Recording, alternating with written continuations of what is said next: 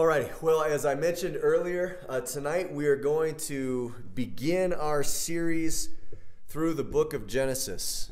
And tonight is going to be the introductory message about some of the features of the book of Genesis and how to approach the book of Genesis. Uh, I think you would get the most out of this message if you listen to it tonight, listen to it again uh, about the time Abraham dies. Believe that's Genesis 25. And then listen to it again at the end of the sermon.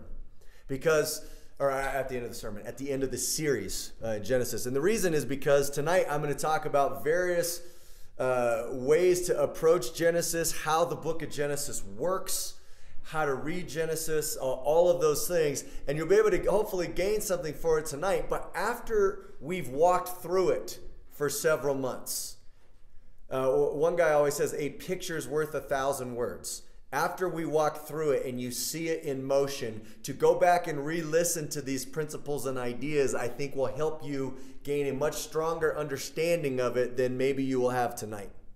And then if you did it again another time at the end of the book of Genesis, I think you might really begin to have a, a pretty good grasp of the things that we'll cover tonight. So that's uh, uh, introductory uh, recommendation. If you feel somewhat overwhelmed uh, by the end of the, of the message, that's okay. We're going to break this stuff off in bite-sized chunks as, as we move forward. But this is just some introductory uh, things to consider about the book of Genesis. And the first thing I want to lay out is my own personal history with this book. I'm really excited to begin our Genesis series today, and I'm, I'm filled with anticipation of the good things God might do in this series uh, during the next season in our church because I personally have had a wonderful, special history with the book of Genesis that began probably about 10 or 12 years ago when I was in my theological training for the ministry.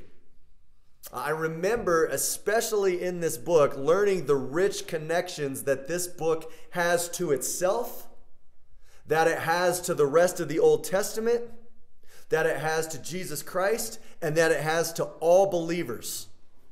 And as I was studying th- these things, I was just riveted by them and overwhelmed with joy, and it felt like the whole Bible was opening up. And so during that particular season of life, there was a, a, point where I was between jobs for about six weeks. And I remember that during that time, God had me locked up literally about 14 hours a day for a month, doing nothing but devouring Genesis and its connections to the rest of God's Word. And it was during that season that it was one of the sweetest seasons of worship with God that I can remember having uh, in my walk. It's one of those memorial highlight moments when you look back on your life that is just really stands out. And so when that season of unemployment ended and I, I, I, went to the job that God had prepared for me, after I'd been at that job for about a year or so, I eventually was asked by the manager of that company to teach a Bible study for the office, and I taught our, our office through the book of Genesis. And it was through the study of Genesis and how richly it points to Christ that my manager was saved during that Bible study. And to this day, he is a strong believer who's serving God in Chicago and he's done missionary work in China. He is a really cool minister or ministry to these uh, gang member kids. I love this guy. And so he is a very dear brother to me, and he got saved going through the book of Genesis in other venues when we when I've taught through the book of Genesis, I've seen God save other people as well, and so I just I, I, I come to this book with just a lot of confidence and anticipation of what God might do through His Word. And I think for me, obviously, seeing people get saved is wonderful. But one of the other things I've really enjoyed about the book of Genesis and teaching through it is seeing people as they go through the book of Genesis seeing their confidence in the Word of God grow. That is something that I just absolutely cherish to see somebody understand what's going on, see them get excited about it, see them own it personally themselves, and be able to put it into their own words. That is, I mean, that, that's why I preach the Word. And so I'm excited for us to begin this series. And today's message, we're going to cover some important introductory issues pertaining to Genesis. And then next week, Lord willing, we will begin actually working through uh, the book of Genesis. Um, so, to begin, some of the kind of uh, basic considerations when you begin a book is who is the author, uh, when was it written, and what is the setting. And so, for the book of Genesis, Moses is the one who authored the book of Genesis as well as the first five books of the Bible, which, in addition to Genesis, are Exodus, Leviticus, Numbers, and Deuteronomy. Now, these five books are often called the Pentateuch, which is, uh, the, and Pentateuch is a Greek word that simply means five books. And these five books, they are also sometimes referred to as the books of Moses, or maybe sometimes they're just called Moses. Or other times the Jews would call it the Torah or the law. And so all of those things, especially depending on context, they're speaking to the first five books uh, of the Bible. Now, with the, the, the, phrase the law in the New Testament, depending on the context, the law can have a broad meaning. It can mean the five books of Moses, it can be a reference to a particular law, or it, it, it can even be a reference to the entire Old Testament itself. As we see in 1 Corinthians, Paul quotes Isaiah and calls it the law. So, depending on context, the law, uh, the law almost always speaks at least to the first five books, and sometimes uh, it's a little bit more narrow than that if it's referencing a particular law. So, Moses wrote the first five books of the Bible, and there's uh, obviously one exception. The book of Deuteronomy, he wrote most of that, but the book of Deuteronomy records his death. So, there's no way Moses can write about his own death. I believe that the person who completed Deuteronomy after Moses' death was Joshua. Joshua was his aide. Joshua uh, was with him, you know, when he's on the mountain, you know, with God and stuff like that. I believe Joshua uh, wrote the rest of uh, the book of Deuteronomy. So, with the exception of the end of Deuteronomy, Moses wrote uh, the first five books. Now, there is no end to the debates of scholars who question the authorship of Moses. And I honestly, like, this might disappoint you, but I'm not going to bog you down with that. I have a mic drop argument for why Moses wrote uh, the book, uh, why he wrote the book of Genesis. And I'm just going to appeal to the greatest mind in human history, the only true scholar, the only one who knows everything, and we'll see what he has to say about the first five books and Moses as the author, uh, and, and, these and, and, and these books as scripture. So in my notes, which will be placed online, I have a much more detailed unpacking of Jesus' view of the five books of Moses, how he affirmed them all as scripture, how he affirmed Jesus, or I'm sorry, how he affirmed Moses as the author of each book. But for the purposes of the sermon tonight, because it's already a bit long, to cut out about 10 or 15 minutes of going through that, I'm going to fast forward ahead to basically just one statement. But know that if you want more information on that, it will be available to you in the notes uh, uh, uh, online. And so, what I'm going to do to uh, argue for the authorship of Moses, uh, uh, of Genesis, is just turn your attention to a, a very famous passage of Scripture. And it's a passage where Jesus calls, where Luke actually calls Moses, he speaks of Moses as a paraphrase for the first five books of Scripture.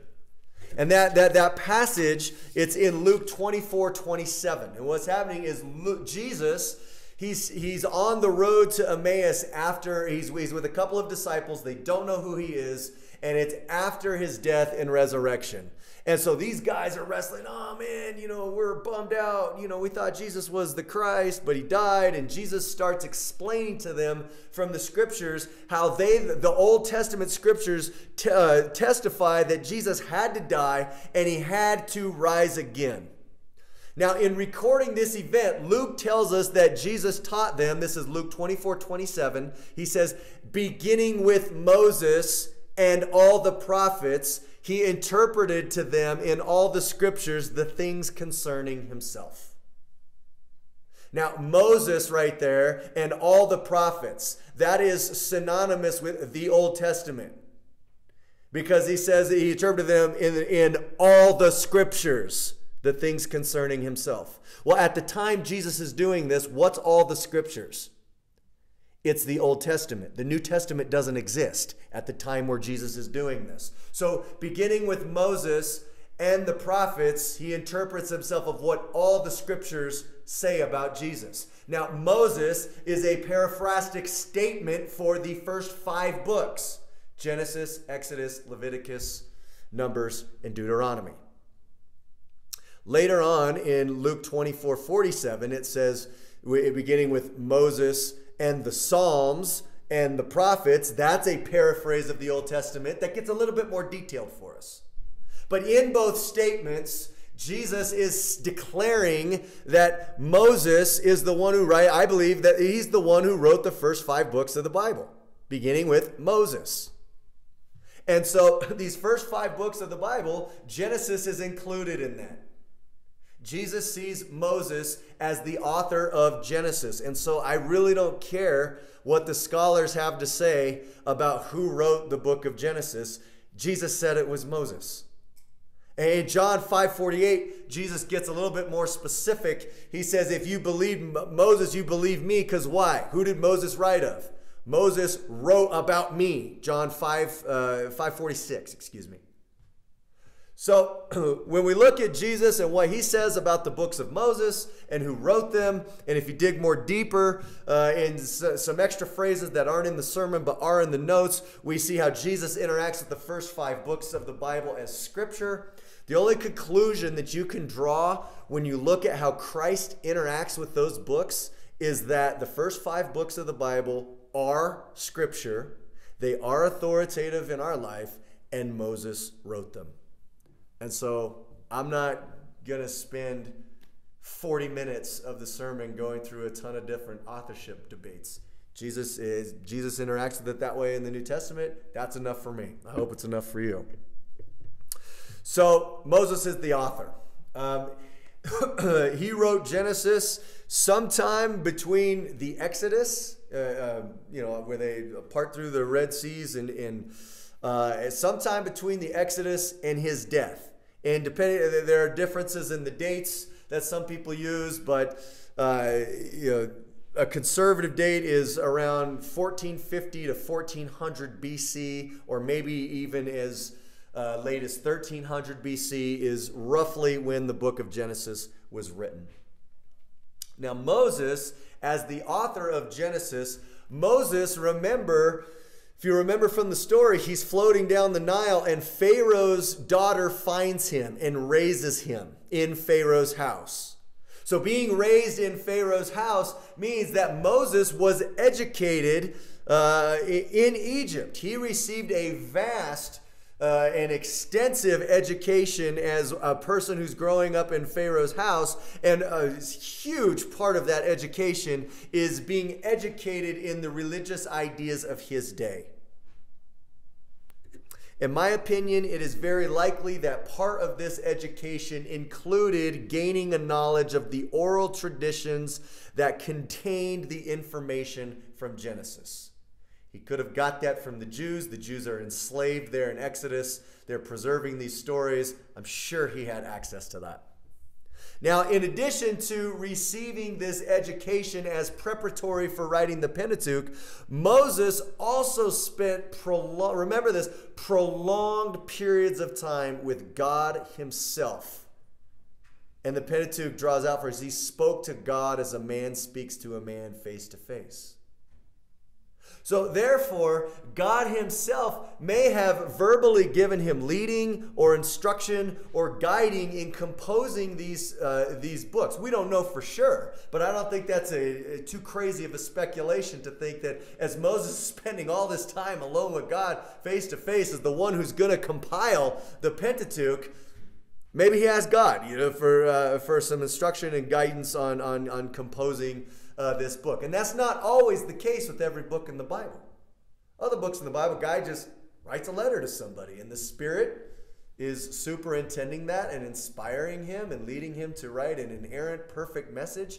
But sometimes, as with Moses, he actually has direct access to God. It's possible he consulted the Lord uh, with some of those things. Just as Paul says in Galatians 2, he re- how did Paul receive his theology?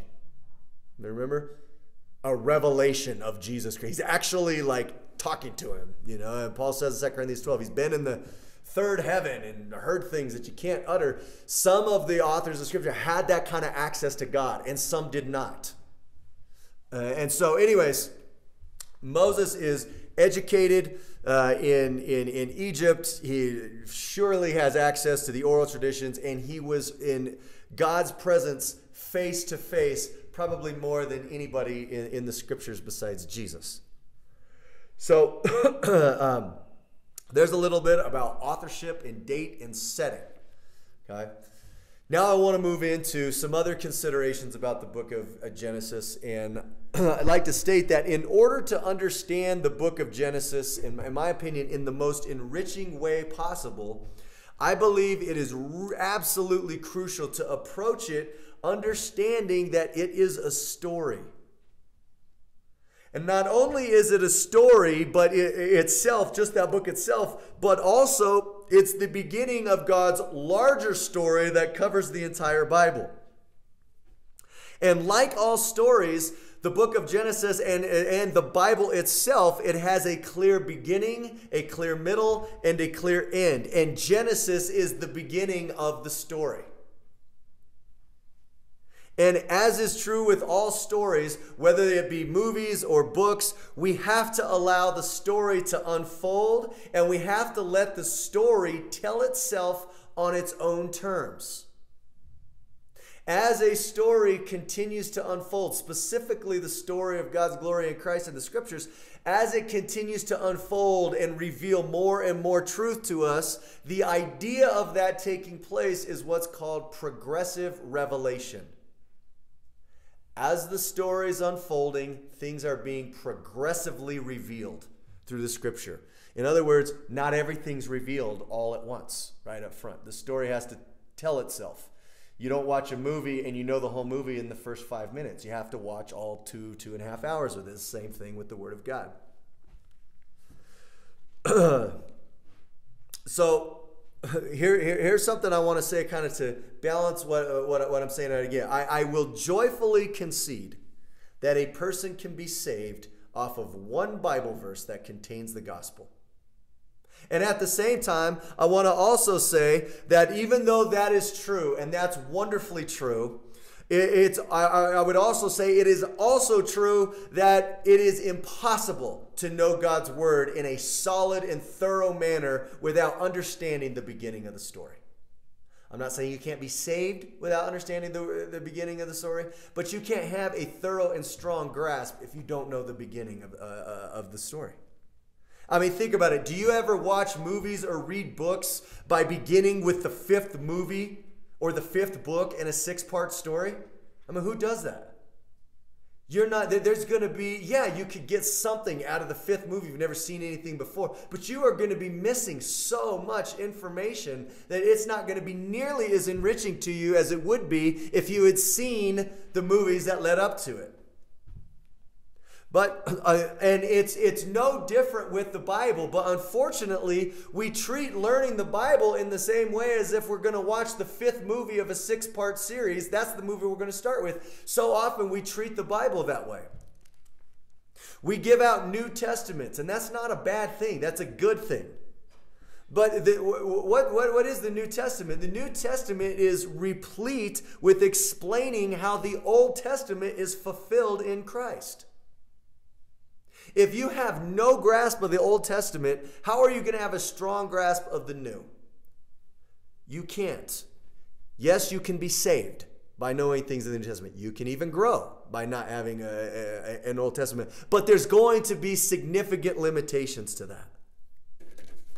And so it is my exhortation to you to not be content to just know enough to be saved but rather hunger and thirst to know God's word and grow in understanding and understand how it, how it unfolds. Because the Word of God, all of it, Paul says, all Scripture is breathed out by God and profitable for correction and rebuke and training in righteousness so that the man of God will be fully equipped, right? All Scripture.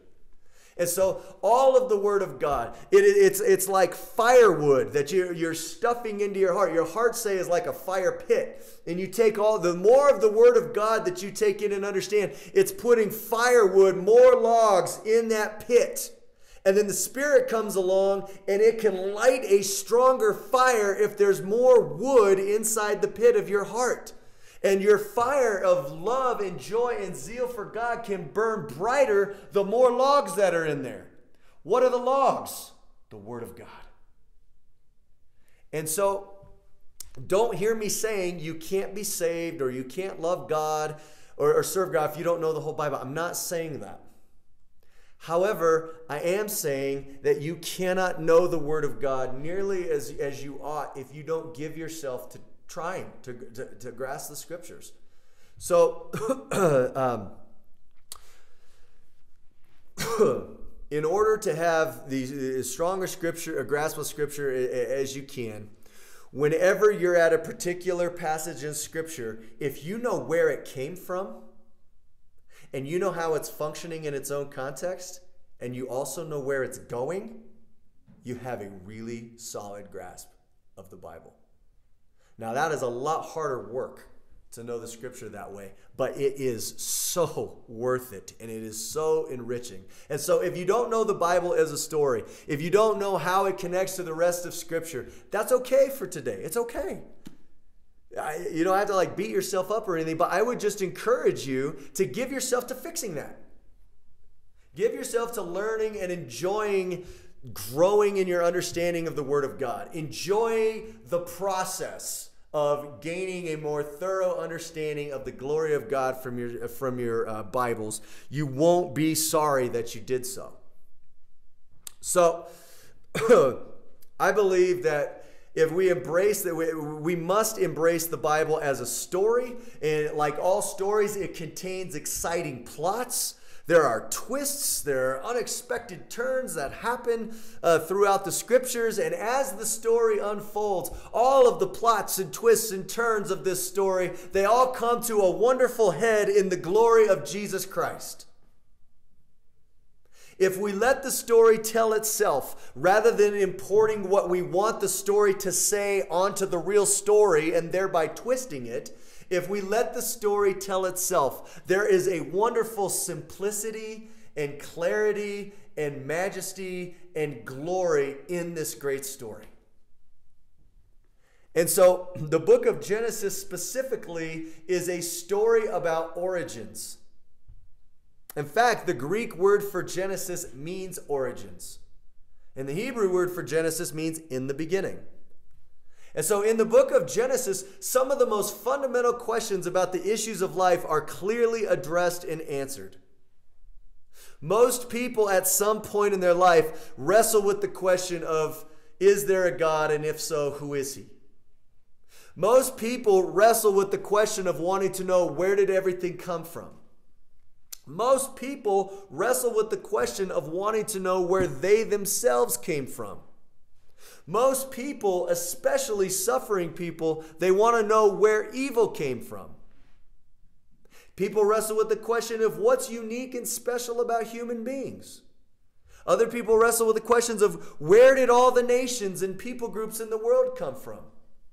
Other people ask questions what's the deal with Israel? Why are they such a big deal all the time in so many different uh, arenas? Other people ask questions where did, the, where did goodness and love and peace come from?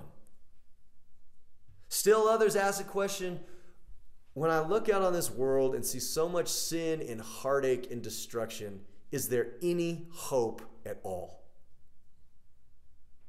Genesis because it records a real and literal and true history of an actual God, of a literal people who actually existed, and literal historical events that actually took place, Genesis wonderfully and clearly answers these questions for us. And it is important for us to know the origin of things because origins is a key and fundamental part of identity. Virtually every story's major plot lines and major characters have the origin of the plot and the origin of the character revealed within the story.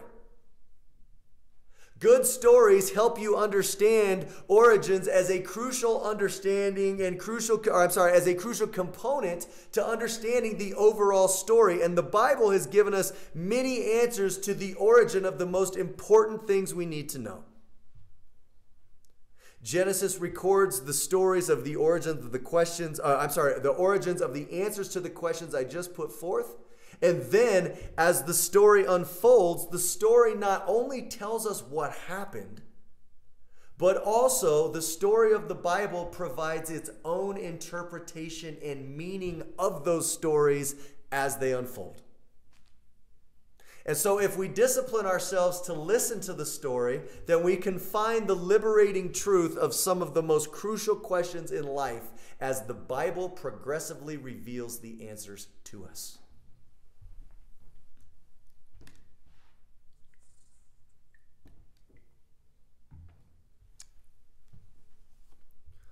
So, one of the key features to the story of Genesis, and I would argue to the entire Bible, is the story of the power and the triumph of God's word.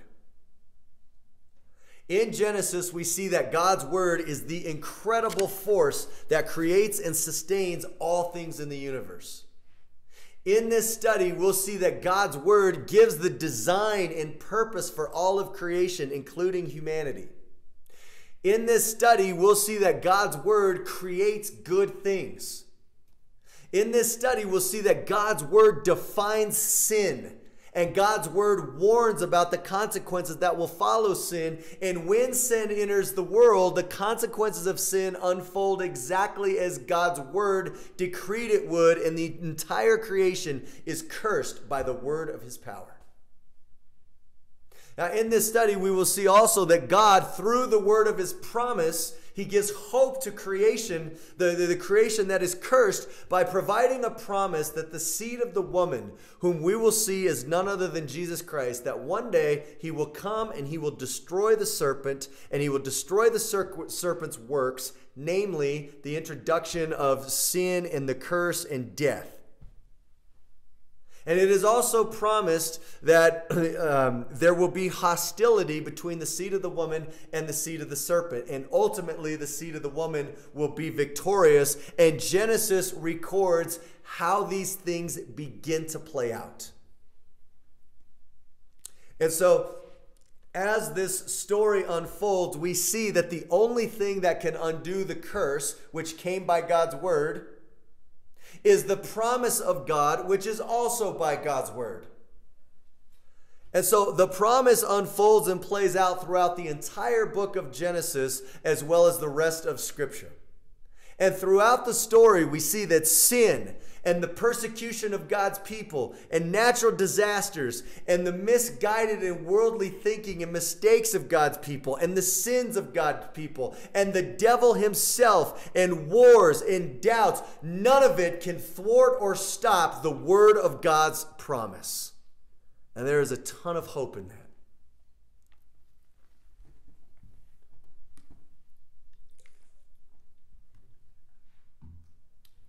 Now, as it pertains to the structure of the book of Genesis, there's a lot of different ways that someone could choose to break this down. To me, I'm going to just break down the structure of Genesis uh, in two basic ways. First, you have chapters 1 through 11. And the first 11 chapters of Genesis comprise what is known as the primeval history. And the word primeval speaks to things associated with the very first age of human history. It's like the oldest of the old. And so Genesis 1 through 11, it carries us through the very beginnings of time. And in this section, we have the record of creation, We have the record of the fall. We have the record of the seed promise. All of this opens up in the first three, uh, three chapters of the book of Genesis. And all of it plays out in the lives of the first human beings created, namely Adam and Eve. Now, chapters 4 through 11 are driven and dominated by and unfold in light of the promise of the seed of the woman. Every single event in those chapters is an outworking of that promise. It's what holds all of it together.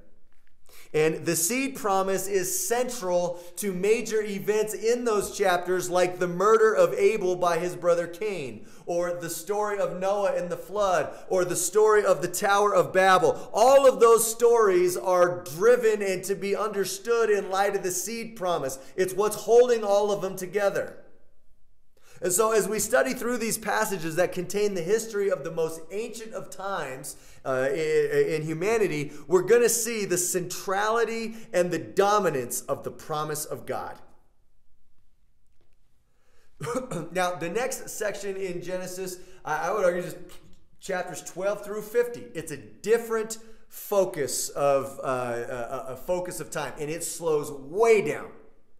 The first 11 chapters, it's coming the beginning of history through thousands of years up to uh, leading us up to Abraham. Chapter 12 slows down to record three generations of one family. Or chapter 12 through 50, excuse me. In chapter 12, we will meet a man named Abraham. And what is particularly significant about Abraham is the fact that we are going to encounter a series of promises made to Abraham, which make up what is called the Abrahamic covenant. Now, the promises of the Abrahamic covenant, they are stated and they are developed and further fleshed out, and they begin to be stated in chapter 12, and we see more promises unfold all the way through chapter 17. In fact, some could argue chapter 22 gives its own uh, additions to it as well. And I'll explain what I mean by that more when we get there. But all of these promises make up what's called the Abrahamic covenant. And I would argue the Abrahamic covenant essentially takes the seed of the woman promise and gives much more development and fleshing out of that promise.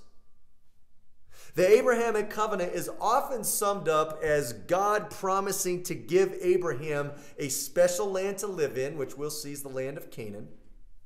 God, it, also contains the promise of God promising Abraham an offspring that's going to come from him that is vast and numerous. And then the third summarization of the Abrahamic covenant is that God will promise to bless Abraham and his people with the knowledge of God. Now, there are other promises in the Abrahamic covenant, but they kind of tend to fall under the categories of land, seed, and blessing. And so the covenant promises to Abraham, they literally drive and shape every single event that unfolds from Genesis chapter 12 through chapter 50. And I'll show you how when we go through there. But all of the historical episodes in those chapters, they take place as outworkings of the promises of the Abrahamic covenant in one shape or another. And once we realize that, Genesis becomes wonderfully clear and understandable. Now, as we see the Abrahamic covenant shape the history of Genesis, we see this history shaping covenant dominate the lives of three prominent figures. And these prominent figures are figures whom the Bible refers to as the patriarchs. And these three figures are Abraham, his son Isaac, and Isaac's son Jacob. These three men are called the patriarchs because they're considered to be the fathers of the faith, and specifically, they are also the fathers of the nation of Israel through the Abrahamic promise. It is to Abraham that God first makes the promise of land, seed, and blessing and he makes them to Abraham, even though Abraham's wife Sarah is barren and is very old and can't have children. God still promises that she'll have, uh, Abraham will have a vast offspring. And the only way that this promise could come to pass is by the power of God's promise. And we'll see through the book of Genesis, eventually Abraham does have a son by Sarah, despite the impossibilities of old age and barrenness, and that son is Isaac. And so the life of Abraham is of huge significance in Genesis as well as the entire Bible.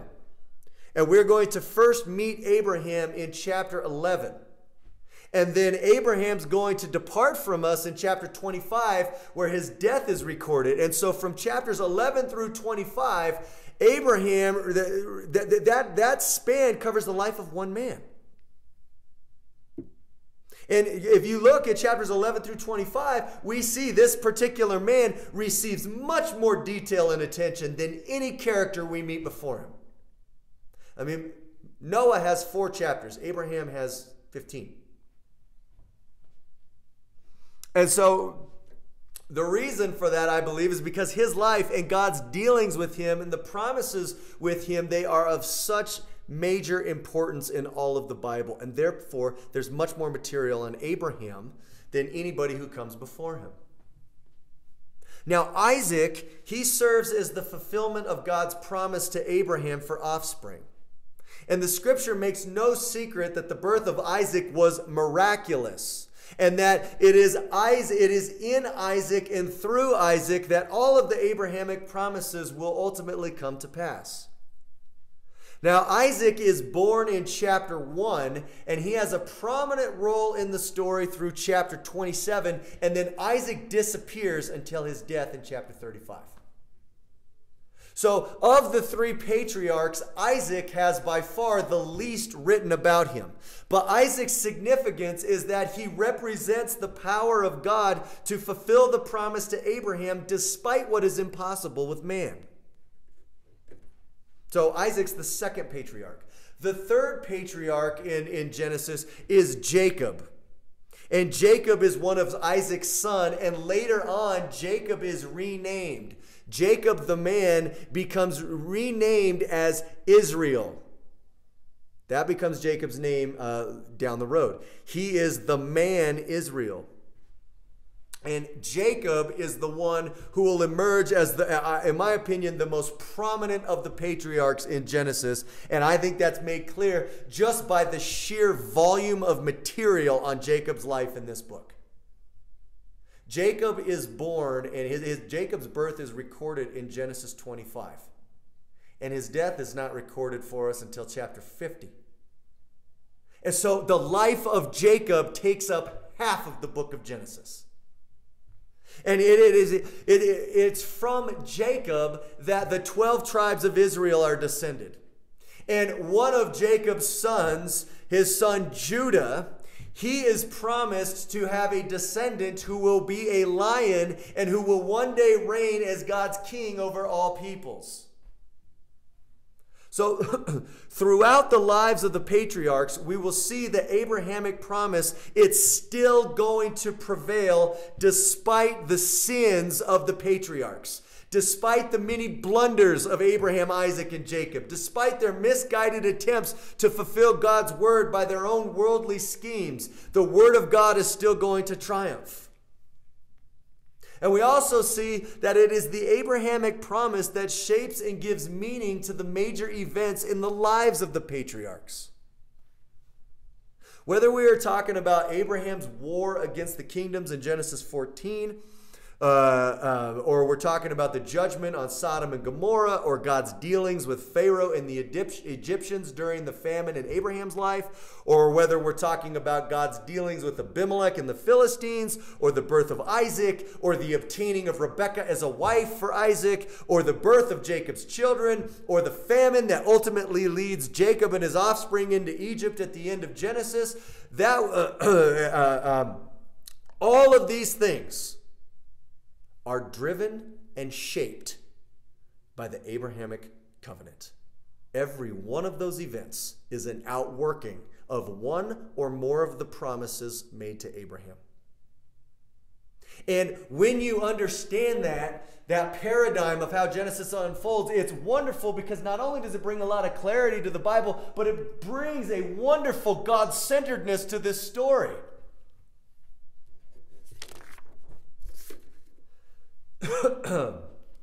Now, in light of talking about how the, prom- the, the, promises are so dominant in the book of Genesis, something else that is very important that we realize as well in relation to promise and fulfillment. And what I have in mind specifically is that one of the critical interpretive issues in the book of Genesis is understanding that the promises of God, specifically the seed of the woman promise and the promises contained within the Abrahamic covenant, those promises are fulfilled multiple times. That is critical to understand. Throughout the lives of the people of the book of Genesis, we can see the same promise being fulfilled over and over again in numerous ways. However, as we see that, none of the promises given in the book of Genesis has its final, ultimate, or consummate fulfillment within the book of Genesis itself. Rather, we will see that these promises come to a final, complete, and ultimate fulfillment in Christ and eventually in His making all things new in the new heavens and the new earth. Now, this is really important for us to understand because it's essential that we recognize the promise is being fulfilled in the events of Genesis so that we can worship and appreciate how God fulfills His word and give Him glory. Now, at the same time, it's also important for us to recognize that even though the promise may have some level of fulfillment in the lives of the people of Genesis, there still awaits a final and ultimate fulfillment yet to come. Recognizing this component of fulfillment causes us to look forward to Jesus Christ and how he will bring the promises to their consummate realization in himself. So, the promises that we'll encounter in the book of Genesis, they are fulfilled multiple times in Genesis itself. But those fulfillments are never ultimate. Later on, throughout the rest of the Old Testament, the promises in Genesis also have other fulfillments in other books and other episodes recorded later in the New Testament. But again, just like with Genesis, even those fulfillments, they're not ultimate and consummate, but nevertheless, they are real. Ultimately, all of the promises are fulfilled in a final and consummate way in Jesus. And then it is all believers in Christ who will eventually be made sharers of these promises as they're fulfilled in Him.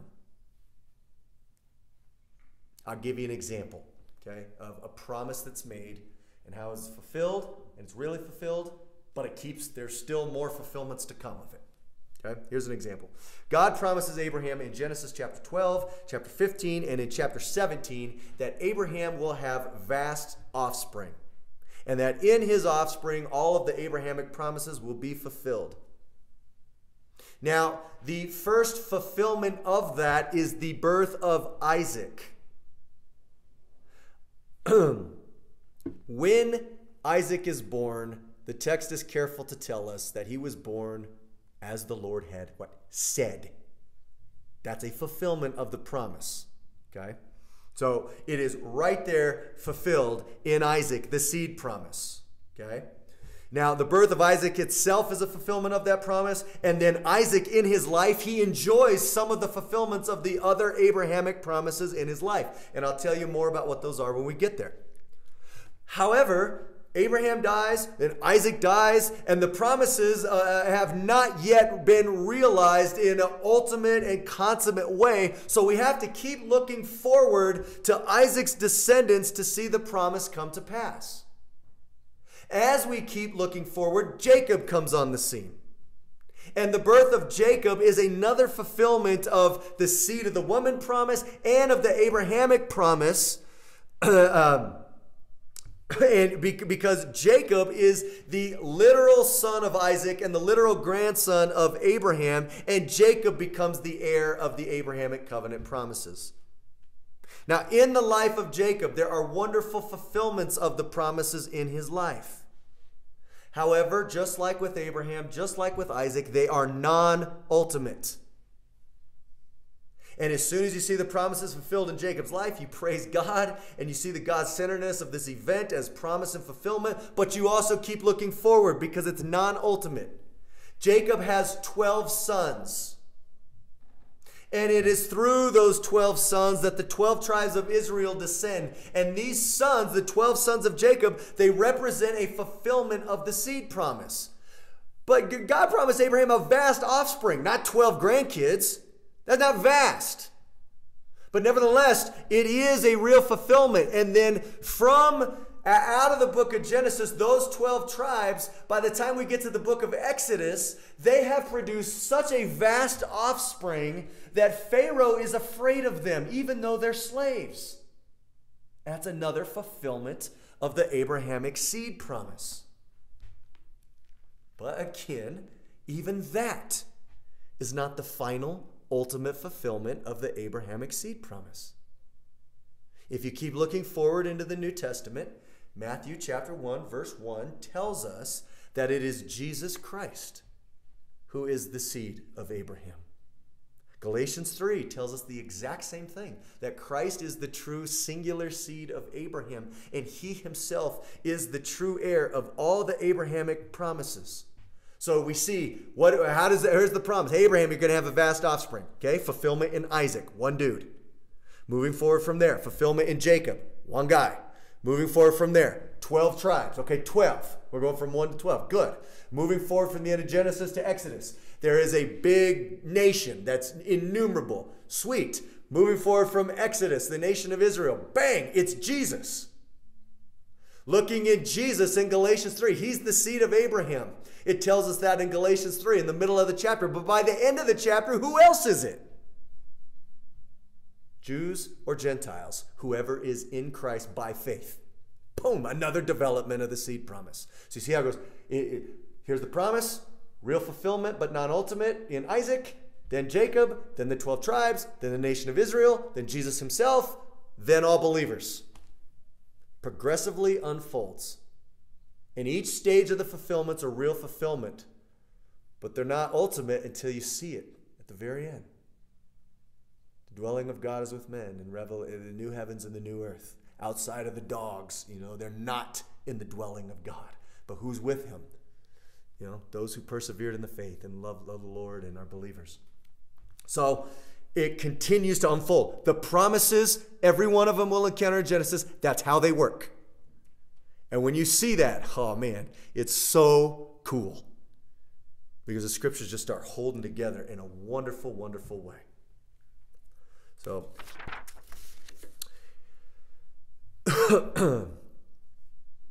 if uh, it's important for us to, as we see the fulfillments of the promises in the Old Testament, to understand they're non ultimate because that causes us to keep looking forward to the fulfillment of Christ. But the reason that it's also important for us to recognize these are real fulfillments is because it gives a rich meaning to these stories. They're not just weird stories. I mean, have you ever read the story of Moses when he's on his way to back to Egypt and then his wife out of nowhere after Moses wrestles with God face to face, "Hey, I'm going to send you to deliver my people." And Moses like, "No." And there's these dramatic interchange with him and God and the leprous hand and the snake and the staff and all that stuff. He's on his way back in obedience to God to deliver uh, Egypt by the promise of God, and his wife just circumcises his kid and puts the foreskin on his feet and is like, You're a bridegroom of blood to me, and God almost kills him. I mean, that's weird. You understand that story in light of the Abrahamic promise? It makes perfect sense. But if you don't understand how the promise impacts those types of stories, you're like, man, these are the weirdest stories, and I have no idea why they're in the Bible. So it's very important to understand promise, and it unfolds progressively and in stages. I've beat that horse now for probably 20 minutes. And reason is because I want that to really stick. It is so important.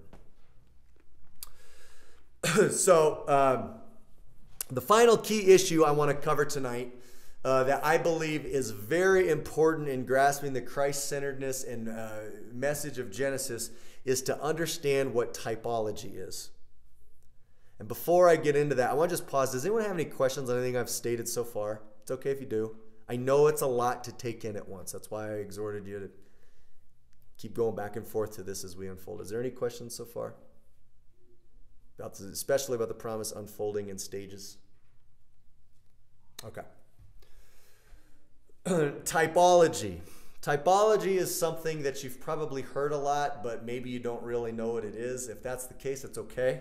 A lot of people don't know what it is. The more I hear people talk about it, the more I hear like, man, you don't know what it is. Uh, typology is a fo- is it's a type of prophecy or a form of prophecy or a species of prophecy.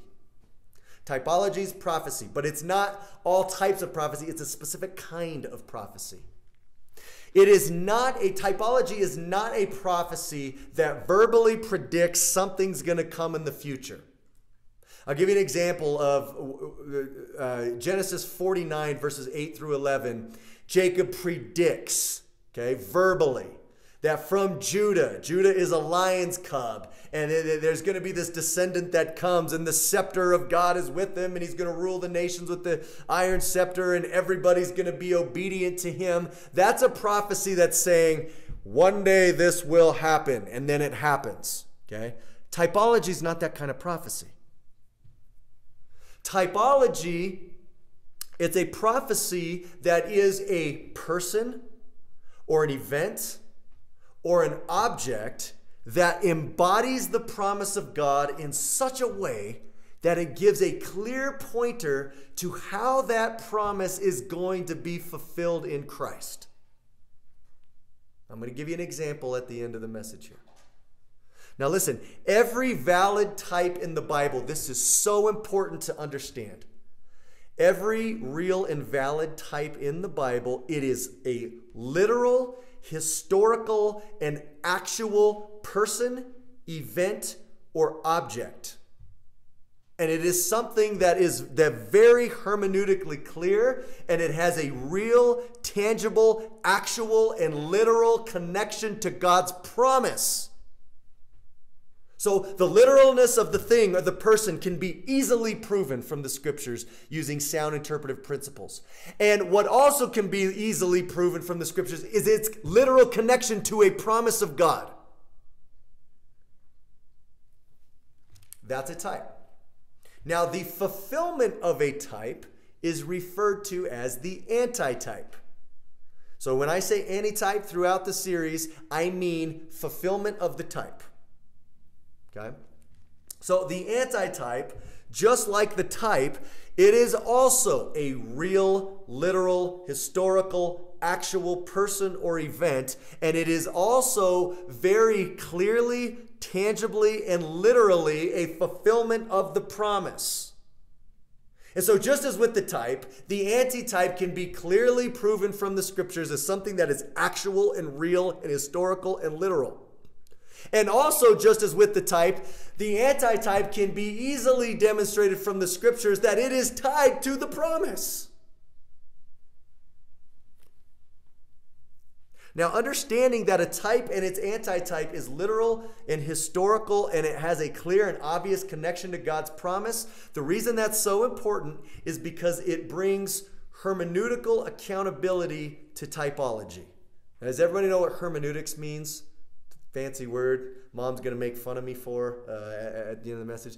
Hermeneutics means the art and science of interpretation. So when I say hermeneutics, I'm talking about interpreting the Bible. Okay?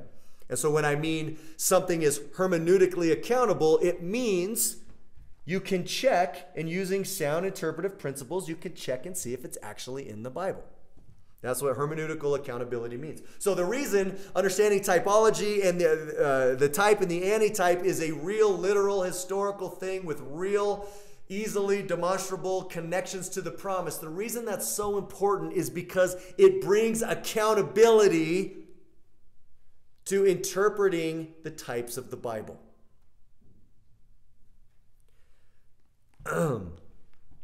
This is extremely important, and you'll you'll know more what I mean by as we work through uh, the book of Genesis. Now, there are some people who wrongly speak of typology as allegory. They think typology is allegory and allegory is typology. And when people say stuff like that, they show that they don't really understand either of them because they are not the same. Allegory is very different from typology.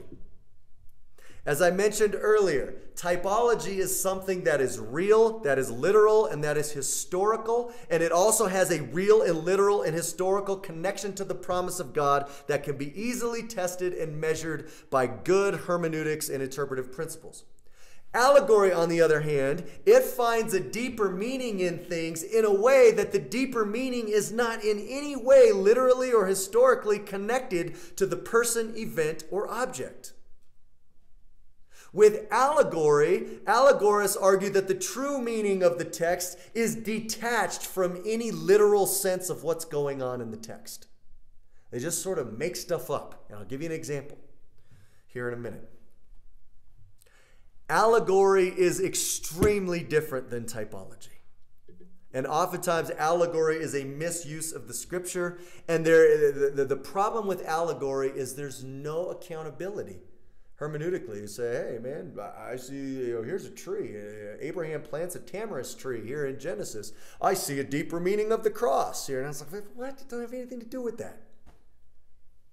There's no accountability with allegory. You're just making stuff up. And that's why it can be a very dangerous way of interpreting the Bible. Typology, on the other hand, though, it's like, hey, look, Abraham's a real person. This is a real event. This really happened. It's really connected to this promise. Look at this picture it creates. Oh, hey, look at Jesus as the fulfillment. He's a real person. He really does the same exact thing. Here's the real great fulfillment in him. Do you see these correspondences? There's great accountability there between the two things. Whereas allegory, there's not. So here we go. To be clear of what I mean between the difference between allegory and typology, I'm going to give you from the book of Genesis what a, a, a valid type is, and then I'm going to give you an example of allegory from the book of Genesis to hopefully help you understand the difference. Let's start with a biblical type. Joseph, who's the son of Jacob, his favored son, Joseph is one of the most wonderful and clear types in the Bible, and his entire life creates a wonderful prophetic picture of what's going to come in Christ. We're going to break this down more when we get there, but here's the paraphrase. Joseph is a literal and historical person, okay? That's a rule of a typology. It's got to be real and literal and historical. Joseph is literally a descendant of Abraham. Joseph literally rises to power in Egypt by a literal betraying of his brothers through a literal enduring of unjust suffering. Now, as Joseph humbly submits to his suffering, he is literally exalted to a position of power. And in that position of power, as the seed of Abraham, eventually he has literal authority over a literal seven year storehouse of grain during a severe famine. And at this time, the nearby world is starving because of this famine. These are all literal, historical, real things. Now, as the surrounding nations come to Joseph, who is the literal seed of Abraham, Joseph literally blesses the nations by providing them with grain, which is the bread that gives them life. All of these things are literal, they're historical, they are hermeneutically measurable, and they are wonderful outworkings of the Abrahamic promise to bless the nations through the seed of Abraham painting this picture of Joseph, it is very easy to demonstrate from the Bible, and it is very easy to prove from an interpretive standpoint. That's the type. Okay? What's the anti-type? What's the fulfillment of that? Listen, for those of you who know the gospel well, just giving you the type, you should be able to put all of this together yourself. The anti-type of Joseph, or the fulfillment of Joseph as a, a, a type in the prophetic picture his life gets, is Jesus. Jesus is also literally the seed of Abraham. Jesus was literally betrayed by his own kinsmen. Jesus literally endured unjust suffering. And yet, through that unjust suffering, Jesus literally rose and ascended to a literal position of power, Philippians 2, whereby through his gospel, he literally blesses the nations by giving of his literal self to them as the bread of life, John 6.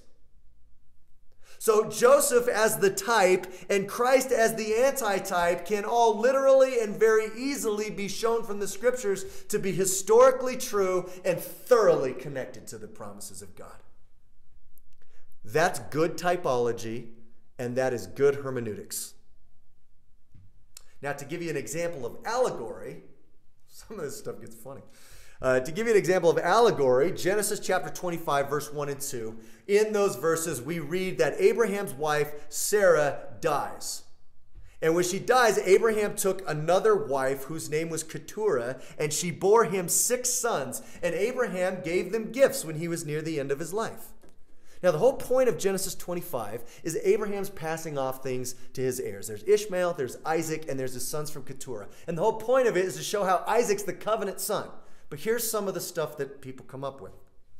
I have heard some people say that the six sons of Abraham from Keturah, they represent the six spirits of virtue and of wisdom.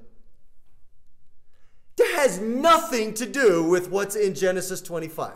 There is nothing about wisdom and virtue or anything mentioned there. It just says he had these six sons and he gave them gifts. But you have people go off on entire sermons about the six virtues of wisdom from Abraham's son that has nothing to do with what's going on in Genesis 25. That's a totally detached meaning from the set, from the text. Now, I read something. Uh, uh, I read something online that said that Origen, uh, a church, uh, a church, uh, a guy from church history, an old teacher of the Bible back a long time ago, Origen said that the death of Sarah, Abraham's wife, it was the perfection of virtue, and that Abraham's marriage to Keturah represented his continual pursuit of wisdom and knowledge. What? That has nothing to do with anything in the text. That's just not there. This is guys finding stuff in the text that they're just pulling rabbits out of hats. None of this stuff is actually there. So these guys in these interpretations, they're assigning meaning to these things that is totally detached from what's actually going on. That's called allegory. And that, those examples are super, super different than Joseph as a type. And it's very important to understand those differences. And so here's our kind of our, our closing point here. The last point I want to uh, close the introduction with is that Jesus Christ is the theme of all of the Bible, and the book of Genesis is dripping with his glory in Luke 24, 27 and in Luke 24, 44, as I already said, we can see, uh, I read it earlier in the, in the, in the message, Jesus himself says he's the grand subject of the book of Moses, and for our purposes, the book of Genesis is included in that. It says, beginning with Moses and all the prophets, he interpreted in all the scriptures the things written concerning himself all uh, uh, that's Christ's own hermeneutical or interpretive key to understanding the Old Testament. It's all moving to him. In John 5:46, I mentioned this earlier as well, Jesus is in a dispute with the Jews over healing a man on the Sabbath the, which the Jews felt was a violation of the law of Moses. And as Jesus was debating them, he said, "If you believe Moses, you'd believe me because he wrote of me." So again, Jesus clearly declares that the substance of what Moses wrote in the first five books, which includes Genesis, it's pointing to Christ, it looks to Christ, and it's fulfilled in Christ. In John 8, the Jews were trying to kill Jesus, and they were having a debate with him about the origins of Jesus. Where did he come from? And in this debate, Jesus claims that he's God, that he's the great I am who preceded even Abraham. And these Jews, they claim to be God's true people because they're physically descended from Abraham. But Jesus, he burst their bubble by telling them that they're from the devil because they're trying to kill him and their actions are therefore demonic. And in telling them this, Jesus speaks of Abraham in John 8 56. And here's what he says about Abraham Abraham saw my day and rejoiced. Okay, well, where do we read about the life of Abraham? In Genesis. How, when in the world did Abraham see Jesus' day and rejoice? I believe strongly that Jesus is making a reference to Genesis 15, verse 1 through 6. And I'm going to argue more for that view when we get there. But the point I want to make now is that Jesus clearly sees that Abraham has a joyful, forward looking faith in God and his promises, which will all culminate in Christ. So, the book of Genesis, which Jesus sees as scripture and is scripture that was written by Moses, it is Christ centered and he is the great subject of it. Two more verses. The apostle Paul says in 2 Corinthians 1:20 that all of the Old Testament promises they are fulfilled in Christ and he said that by saying all the promises of God find their yes and amen in him. Paul also said in Ephesians 1, verses 9 through 10, that the mysteries and purposes of God are to sum up all things in Christ, of which the content of Genesis is a part. And so, as we journey through this great book, we're going to see through the literal reading of the text, through God's promises that He makes, and through the progressively revealed message of Scripture, and through many wonderful prophetic types, that Jesus is everywhere in Genesis. He's the sovereign creator and sustainer of the universe. He is the second Adam who will come as the seed of the woman and crush the serpent's head and undo the curse. He is the innocent and slain brother whose blood speaks a better word than that of Abel. He is the greater Noah who in him provides a consummate and final deliverance from the curse through his vessel of salvation. He is the seed of Abraham who's going to bless the nations that were cursed at Babel, and he will bless them by giving them the knowledge of God. Jesus is the greater Isaac who is sacrificed and raised from the dead to secure the inheritance of the Abrahamic promise for his offspring. Jesus is the Melchizedekian king priest who builds the house of God. Jesus is Jacob's ladder or Jacob's tower that connects heaven and earth, which is the fulfillment of the Abrahamic promise. Jesus is the greater Joseph who, through his suffering, comes to power to provide the bread of life for the nations. Jesus is the descendant of Judah to whom will be the obedience of Israel and all peoples. And there is much, much more in Genesis that points to the glory of Christ. And so I am very much looking forward to exploring the Christ centeredness of God's Word with you.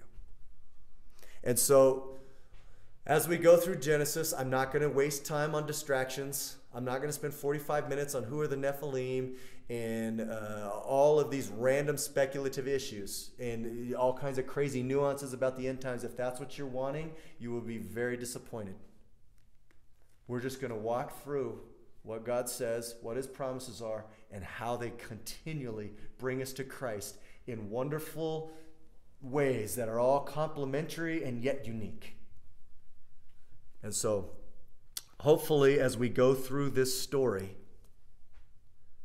we will be enriched in finding the meaning of our own stories in the story of God and in the story of what He's done in Christ. I mean, isn't that why you watch movies or read books? That's why I do.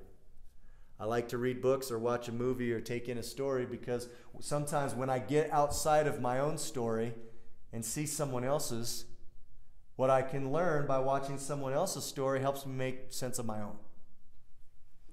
And so we're going to journey through the story of creation and the glory of God in Christ, and sin and the fall and redemption. And in that story, we find purpose and hope and meaning and joy and comfort for our own stories. So that's where we're going. So I know again that that's a lot of information. I promise I'm going to try to make these lessons in Genesis smaller bite-sized chunk. But these are the principles that we're going to use to approach Genesis. So think about it. If you have questions about it, let me know. Uh, we can talk about it, try to digest it. We'll go through Genesis, revisit some of these things, go through it, revisit some of these ideas, go through it and revisit these ideas. And hopefully by the end, you're not going to feel like you're drinking out of a fire hose, but you'll be able to see as I just read the story you're going to have it so ingrained into your thinking of how Genesis works, you just see it. Usually it comes around chapter 28.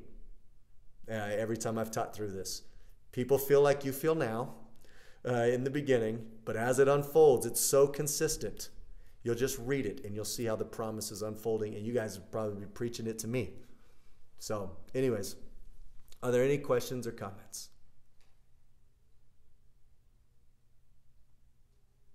Okay. Well, uh, I encourage you to read ahead and, and, and stay in it. And uh, whoops, I'm moving this mic. Got to get used to that.